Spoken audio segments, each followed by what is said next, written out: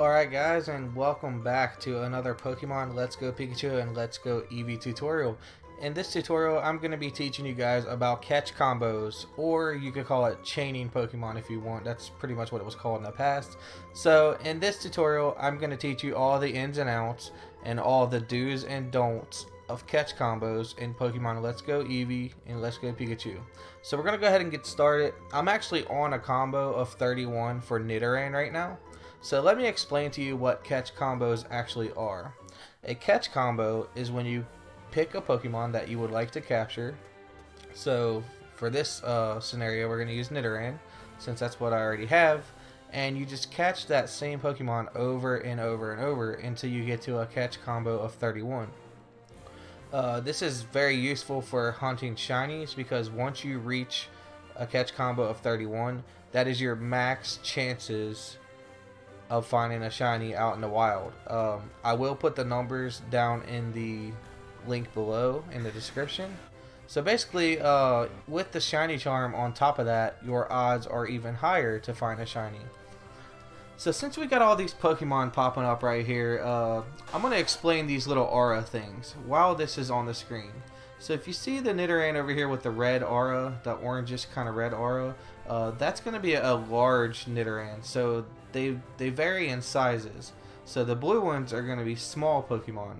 And what that means is you get a slight experience boost from the small or large Pokemon. So if you're actually chaining Pokemon for experience, uh, let's say you're just in the beginning of the game and you're catch comboing a Pokemon over and over and over to level up, then that's what you're going to want to go for is the red ones. Those are going to give you the most XP. Those are going to be the best ones to go for. And sometimes they are a little harder to catch. Um, I'm not sure what really determines that. I don't think there's any info, on what determines that. But uh, both the small and large Pokemon give you a bonus, but the large Pokemon is going to be the better bonus. So since we've got that out of the way, let's go ahead and talk about some uh, things that you shouldn't do while you're doing a catch combo. So things that you shouldn't do, uh, obviously is try to catch another Pokemon that is outside of the Pokemon that you're looking for, unless you just find like a random shiny while you're in the middle of a catch combo that's not the Pokemon you're looking for and you want to catch it. Uh, that will break your combo, by the way, but I mean, a shiny is a shiny. If you want to go after it, then go after it. That's the best thing to do. Um, another thing is turning off your Nintendo Switch. That will break your combo. Now, you can save the software and you can you can go to the home screen and you can sleep the switch without exiting the software. That will not break your combo. But turning off the switch altogether, like powering it completely off or closing the game, that will break your combo. So those are things you don't really want to do while you're in a catch combo. And last but not least, um, the last thing that will break your combo is if you're in a combo with a Pokemon and you're in a session trying to catch that said Pokemon and it flees from you. If a Pokemon runs from you that you are comboing or any other Pokemon that you run into flees from you, that automatically breaks your combo. So if you run into like a Pidgey or a Rattata or something that you're not trying to find in your combo, you can simply just run. So I'll go ahead and show you that. We're going to run into this Rattata over here. I'm just going to run into the Rattata. I'm still on the catch combo for Nidoran, so we don't want Rattata. We're just going to run away. And that's all you got to do. You can do this over and over and over. It does not hurt your combo. So now let's go ahead and go to another Nidoran real quick so that I can demonstrate that it does not break the combo. So we're going to try to catch this. Hopefully it goes in the first time. And we shall see what it says, even though it probably just said it on the top left part of the screen. Just want to make sure uh, it will show that we are indeed still in a catch combo for Nidoran.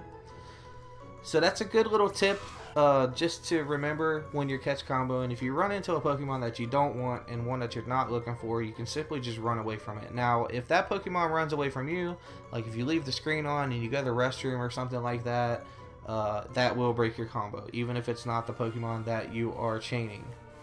So now that we got that out of the way, let's talk about items that you should have uh, while you're catch comboing. So the best items to have while you're doing catch combos, uh, the best items are going to be lures. So there are lures, super lures, and max lures. Now the difference between these three lures are the amount of steps you can take before it runs out. Has nothing to do with how rare the Pokemon are going to be. Uh, has nothing to do with anything like that. It just lasts longer. So basically makes rare Pokemon more likely to appear. Um, so let's say you got a catch combo of 11 now you're going to be more likely to see Pokemon like Chansey. You're going to be more likely to see Pokemon that's on your route that might be rare spawns like Bulbasaur, Charmander, Squirtle. Uh, depending on where you're at, there are a lot of rare spawn Pokemon that exist. So just so I can explain the uh, lures, that's what they do.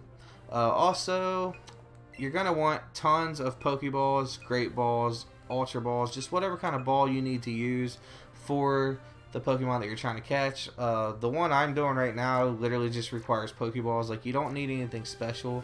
Although, I would recommend using, like, a more powerful ball to catch, like, a shiny if you find one. Just to give you that extra guarantee that it's going to stay in the ball. Because you don't want it running away from you. So, those are, those are the basic tips for doing catch combos in Pokemon Let's Go Pikachu and Let's Go Eevee. Now, we're going to go into some little bit more advanced stuff. So, uh, it has been recently discovered that each route in Pokemon, they actually have spawn caps of Pokemon that are able to spawn on each route. And that actually affects your shiny hunting because if you're maxed out on Pokemon that's able to run around here, uh, you're not really going to get any new spawns to be able to have that chance for the reroll for your Pokemon to have a chance to be shiny. So on this route, it's pretty good. I think it's like uh, 10 Pokemon or something like that. I'll actually put a link in the description with all these numbers because it's easier just to let you guys look at this stuff rather than put it on the screen. Uh, it's not my information. Most of it's going to come from Serebii.net. It's not anything I discovered. Um, now the shiny methods, uh, I have discovered some of this on my own, although there's 50 million videos about it. I have been playing this game since day one. I've done a lot of extensive testing. I've done days and days and hours upon hours of just comboing and I found probably five or six shinies in this game already. So I know what I'm talking about. Just make sure you pay attention to the video. That way you know um, what's going on. So anyway, back to the uh, spawn caps. The best way to battle the spawn caps and also you don't have to stop your catch combo at 31 if you don't want to. You can totally just keep catching Pokemon. Uh, the best way to reset your spawn caps is essentially just going to be leave the area. You can leave the area without penalizing yourself. It will not break your combo if you leave the area. So we're going to get on top of Arcanine here and just go for a ride really quick. And we're just going to leave the area really fast. Uh, it also helps sometimes like if you're by a route that has like one of the outposts or like the buildings that go to the next area, just go in and out of the building really quick. So you can see that like most of the spawns have reset here and now there's only like two or three Pokemon. So yeah, they'll start spawning again pretty fast, especially if you have a lure active. Uh, the lures are going to be your best friend for that, so that's why it's good to use those. Although it is not necessary to use a lure while you are catch comboing, but does definitely help out a lot because it gives you a lot more spawns. Uh, also, one more thing to note is that when you're in a catch combo, not only does it increase the chance for the Pokemon you are doing a combo with to be shiny, but it basically increases the chance for any Pokemon to be shiny, like anywhere. You can actually leave the area while you're on a catch combo and go to another area, and you'll notice that rare Pokemon will show up, like Chansey, uh, like the ones I mentioned before, Bulbasaur, Charmander, Squirtle, uh, just whatever comes out on the route you're on. You'll notice that um, if you're on any type of catch combo with any Pokemon, those rare Pokemon will show up. So you want to keep that in mind. If you're looking for a certain shiny, uh, you can totally just combo somewhere real easy like right here and just catch a bunch of Pidgeys or catch a bunch of Caterpies in Viridian Forest and get your catch combo all the way up to 31. Now there is a catch to that though. While you might be able to get another shiny Pokemon that's not the Pokemon you're comboing, that Pokemon will not have the chance to have the high IVs of the Pokemon that you're comboing, however. So if you're trying to get that competitive Pokemon, if you're trying to get that Pokemon that has the good stats, uh, you're gonna want to just stick to trying to find the shiny that you're actually doing the combo for. Just a little piece of advice there, because uh, you will see some other shinies that you're not looking for while you're doing this. There's been several times where I've tried and tried and tried to chain or combo Ponyta, and twice now I've gotten a shiny Doduo. I actually ran from it the second time because I was gonna see if it affected my rates any. In which I, needless to say, I comboed all the way up to like 260, and I never once again seen a shiny during that combo. So I don't know if that has anything to do with it.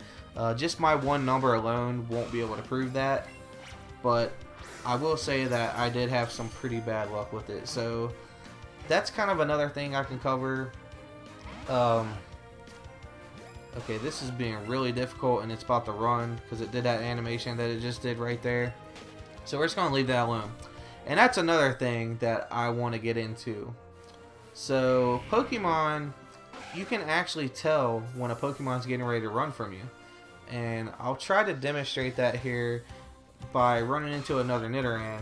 If you watch Nidoran's animations here, he jumps and then he does that little like uh, that little gnawing thing with his teeth. So as long as he's doing those two animations, he's fine.